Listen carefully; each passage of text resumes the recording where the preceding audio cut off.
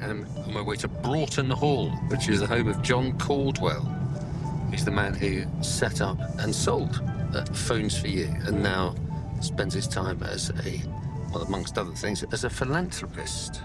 I spotted it 40 years ago down the driveway and thought, wow, that's just extraordinarily beautiful. Before we go inside, John's got the perfect way to give me a bird's eye view of the whole estate. I think I'm going to demand helicopter transport from now on. And they see the whole estate. Astonishing. Built in the 1600s, Broughton Hall has been expanded and expanded by its various owners to create this huge 35,000 square foot house. And even from all the way up here, John's Grade 1 listed home looks massive. Pleased to see you've got a small football pitch in the uh, walled garden. Yeah, in the wall garden there. Yeah. And also it's here that you can see the accuracy of the mowing. Yes. You can't see that from ground level, can No. you? That's beautiful. The first room John's showing me is possibly the biggest sitting room I've ever seen. And this is the Great Hall.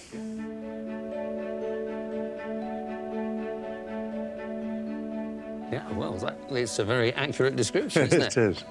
There's a, a knight or something on a horse sitting up there.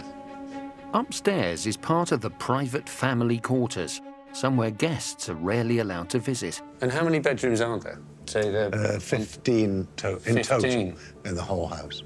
Most of the other wing, most of that's bedrooms. But out of the 50 rooms in this huge house, the one that's used the most is the one at the centre of any family home. So this, this is the kitchen. Yeah.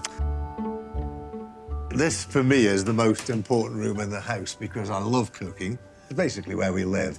It's also interesting for me because this is a, I mean, it's a vast house. Yes, it's a big house. It's about, it's probably 35,000 square feet. But the kitchen actually is relatively, It's small, isn't it? small, Now, yeah. is that a deliberate thing to make it more sort of No, cosy? no, so it, it, it isn't. in? I would have had a bigger kitchen if I could.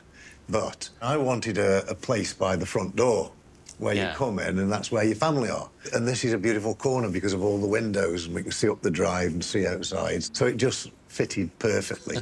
Another part of my estate is the train. The train You have set. a train. That is not a train set. It is. It's a big train. The three mile narrow gauge line snakes around the entire estate, giving a completely unique view of the grounds. Riding a train in somebody's home garden. This has to be a first for me.